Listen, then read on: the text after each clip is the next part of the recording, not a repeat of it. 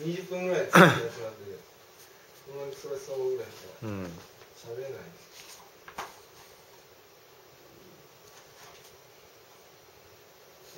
撮るんですか今撮ってるよ。だってみんな一応見れるようにこれ来れてない人も見れるようにしようと思って。じゃあとりあえずねパチパチパチパチお願いします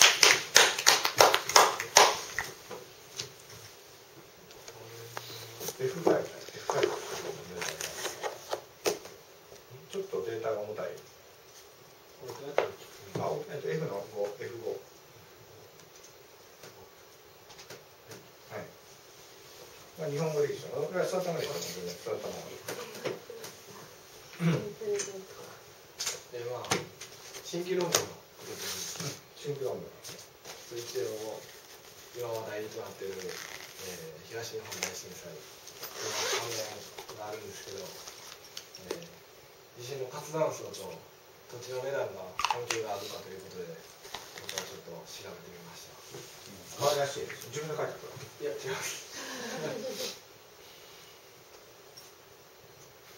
でちょっとイントロなんですけど果たしてその断層帯が地下に関係があるのかどうかということでちょっとこれ左の絵が。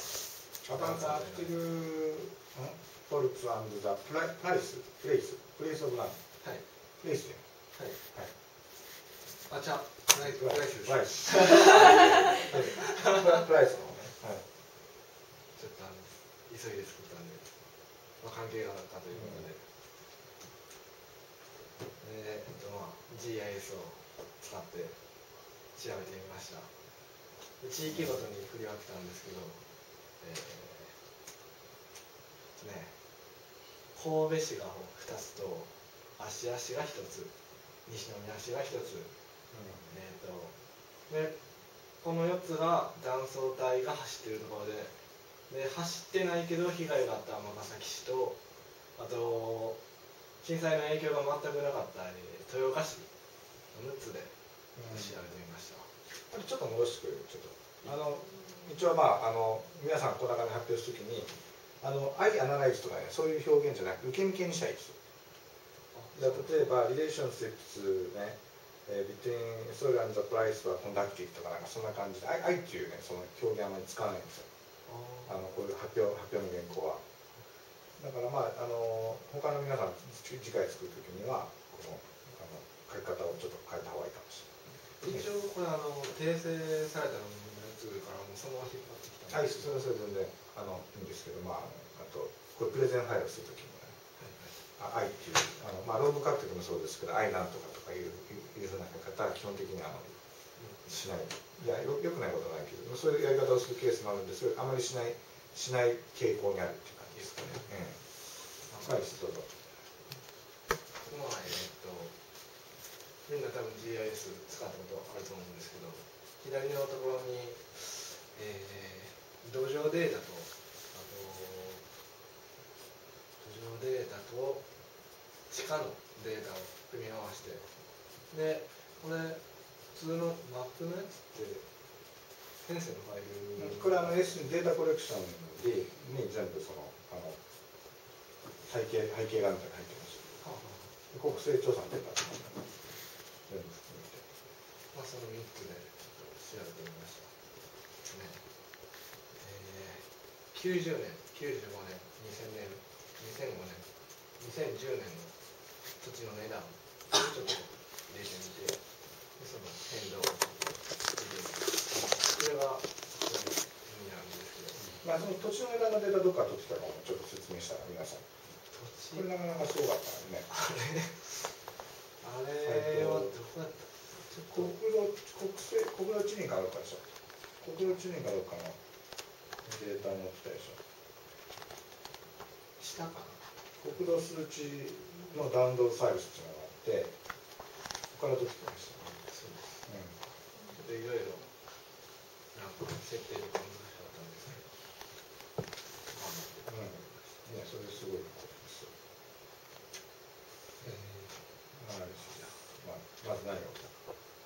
えーっと、まあ、上からさっき述べたように、芦屋市、神戸市の長田区、神戸市の中央区、で西宮で断層帯が走ってないけど被害があった尼崎。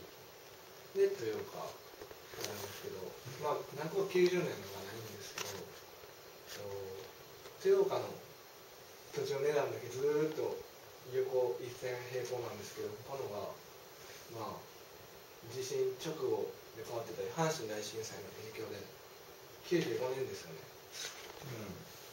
で全部下がってでその後もちょっと下がっていってるかなって感じなんですけど。断層帯が走ってない尼崎も下がってるってことは地震の影響で下がったのかなという。断層帯のあるなしにかかわらず地震があって土地の値段が下がったのかな他の辺のとかもありますかね。これどえ一箇所？じゃなく複数の場所があるのこれ。でどっち？いやその先のその一個の箇所です。あ一箇所のデータがね。はい。えっと 1, 1平方キロメートルあたりいくらか。住宅地とかなんかその辺は全部？そうです。住宅地全部住宅地値段がそう。でそんなに値段下がるの？そうですね。一10万応なんか10万円だと思う。がそんなに95年4万円なの？まあまあ一応データには出てましたね。一応工業地帯とかいろいろデータがあったん。ですけど統一した方が絶対いいと思ったので全部住宅地うん。まあそんなに値段下がるのかなと思うけどまあそういうデータが出てたんですねそれによるとはいはい。でまあさっき言ったことかなうん、一応あのみみんなに分かる一つ一つポイント。えーまあさっき言ったように上の4つは断層帯と近いってこと一番上はで真ん中の尼崎に関しては断層帯が走ってないけれども被害が大きかった地域で一番下の豊川は、まあ、地震と一切何も関係なかった地域ですね、えーで豊川は、まあ、ずっと変わってないですよっていう。ことなんですけどのほぼほぼ言ってない手を貸してに関してはね。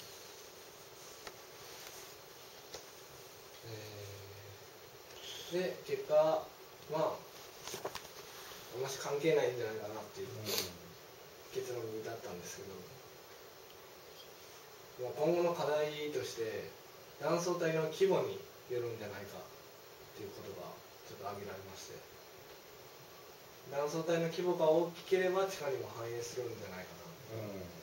あの僕が調べたやつだとちょっと規模がわからないんで断層帯のうんとあと、まあ、それ以外の、まあ、駅から近いだとかあとショッピングモールから近いだとかの、えー立地立地条件がちょっとそれも調べてみないとわからないかなっていうのと阪神大震災だけじゃなくて今回のあの東日本大震災とかについても調べないと、えー具体的な結果はちょっとわからないんじゃないかなっていう結論に至りました、で一応これリファレンスです以上です。はい。えっとまあとりあえずパチパチ。素晴らしい。あの CD ロもまとめてくれればいいと思うんですけど。でえっとこれからどうするこのこの話はこれどうしようかなっていうまあ今回の地震のことも含めてなんかやっていけたらいいかなと思うんですけど。まあさっきの通りその断層帯の規模を調べるっていうのと他の立地条件を詳しくデータ組み込んでうんうん調べてみたいなって。やっぱりちょっとデータが少ないんでもっと詳しい情報をちょっと入れて具体的な結果を出したいなってうん思いました、まあ、データ量とこんだけ集めたしね、いいくついくつ集めたんだっけ。でも一応この箇所としてはこの6箇所そうです。の値段をはい。って感じ でやったんですね。もうずっとうん。ずっとずっとあの位置でやったんで。でも同じデータはちょっと集めるのも結構至難の技ないんでやっぱり90年の。まあちょっと気になるのは下がりすぎですよね。あ青はどこでした青は尼崎。尼崎です。尼崎はそんなには下がるの半分以下なくてよ。そうですね。なんだろうね。あとあの阪神間でこんなに力安かったかなと思うけどそんなもんか。そんなもんだなそうなんですてか昔は高すぎた。90年が逆に。バブルだもんああバブルっていうのもあるけどね。まあでもへそうか 1, 1平方メートルあたりの値段だからまあ3.3平米にするとまあ大体560万だからまあそそんな感じといえばそんな感じですね値段的にはね。まあ、90, 90年から95年も下がってるんですけど95から2000も大体下がってるんで、なるほど。地震の影響はあるのかなっていう感じですか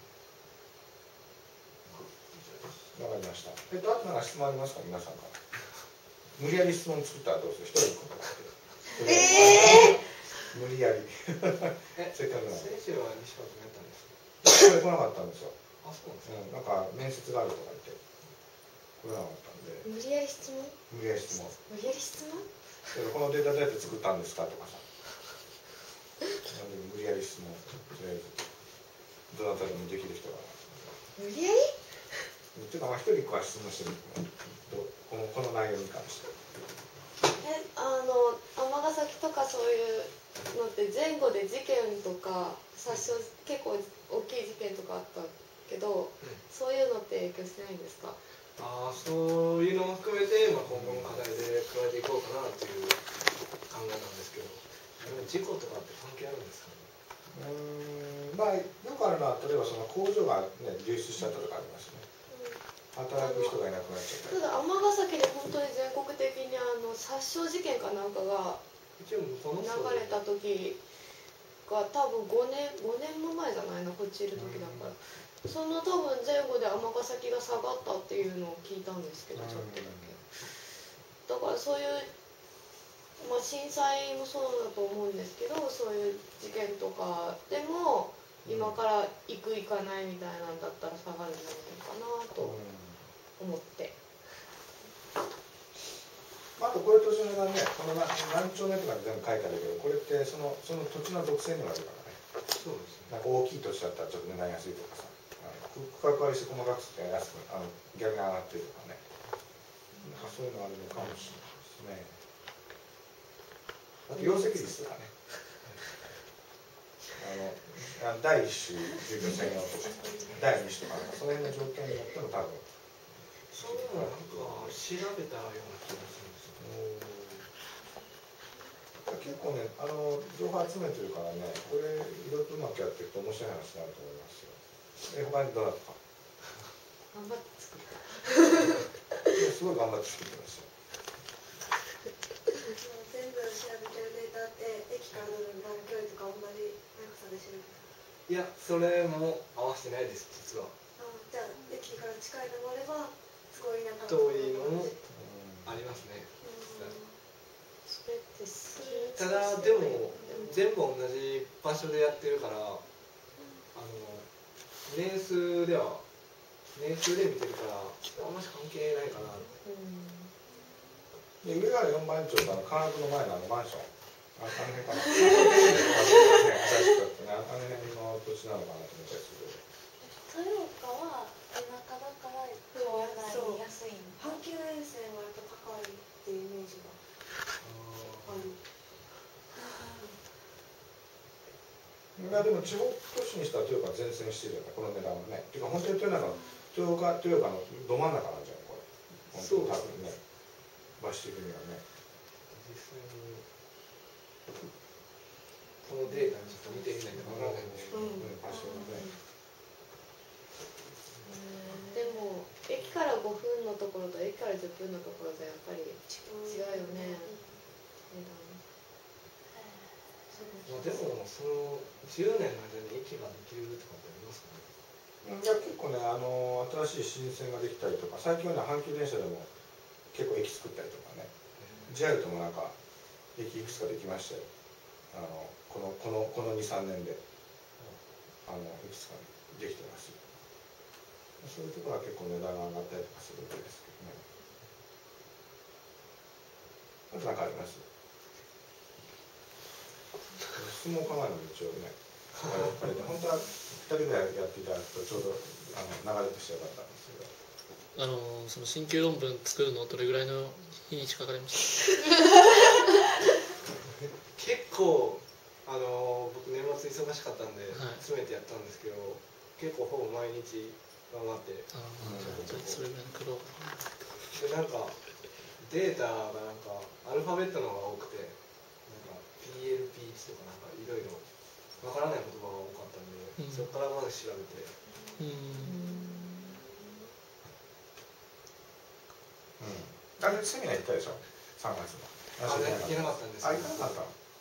なんか前日に予約しようかなと思ったらもう締め切りになってて。あああれかなあそうあれからじゃあれか7月の男の子がいたんだ。山内君2月末でしたねうんしばらくですからねフォーラムのやつちょうど震災の2週間ぐらい前ですねう